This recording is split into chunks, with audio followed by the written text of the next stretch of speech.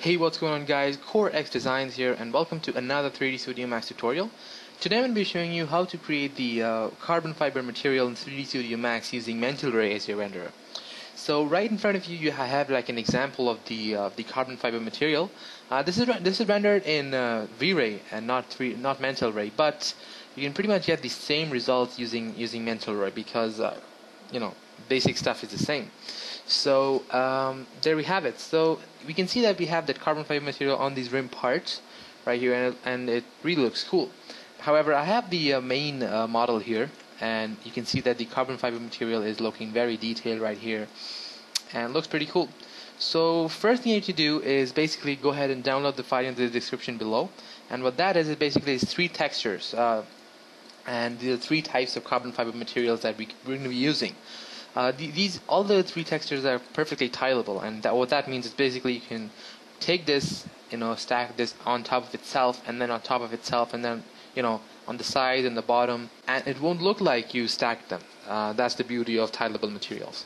So you can go ahead and create one on your own if you want to, but uh, you know since these are already there, why not use those? So what I'll do basically first thing is I'm gonna hit M to bring up my material editor and on a new material slot, I have an arts and design material. You can also use an architectural material, but it really depends on what you want to do. I'm personally going to choose an arts and design material for Mental Ray. Okay, so I'm going to click on this box next to color, and I'm going to choose bitmap. And I'm just going to click on one of these uh, carbon fiber materials that we have. So I'm going to click on this carbon underscore angle 2, basically because uh, th this actually looks better on my model.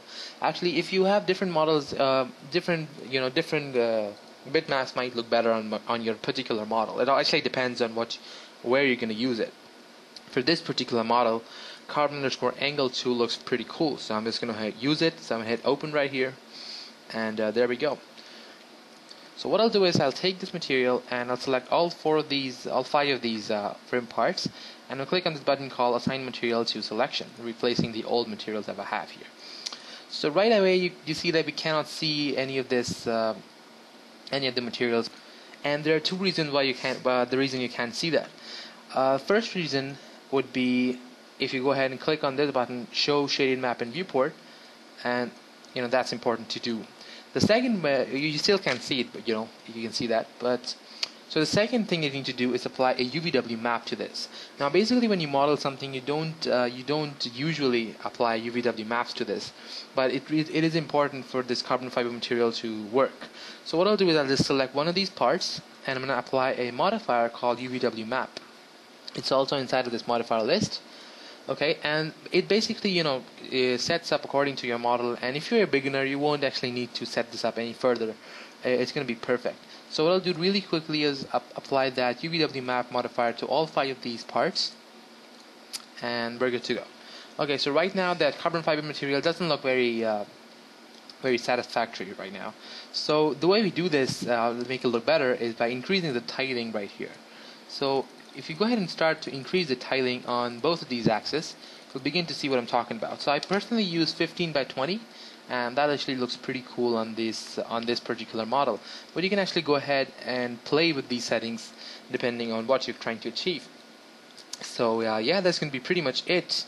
And uh, if you want to add some more detail to this, basically, for example, if you right now uh, see it, it pretty much looks very good. But if you want some close-up to this, you see that it looks pretty flat. And the way you can fix this basically is go ahead and click on this button called Go to Parent and move down and apply in, inside the maps uh,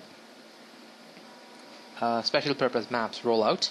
Click on this none button right here, close bitmap, and choose the same uh, you know material there, same uh, picture there, and uh, apply the same tiling also. So go 15 by 20, and go back to parent and you know change the uh, size you know size of this to whatever you want.